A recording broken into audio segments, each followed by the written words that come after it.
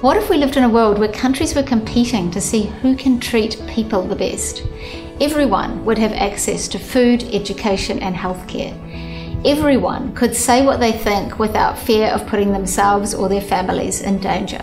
That's the world that the Human Rights Measurement Initiative is working to create. Because in order to improve human rights, they need to be measured. Measurement forces people to pay attention. We are developing multilingual tools that amplify the voices of human rights practitioners and convert those voices into metrics that track the human rights performance of countries.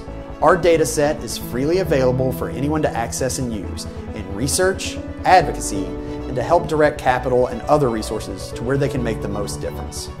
Join us in helping to recreate our world.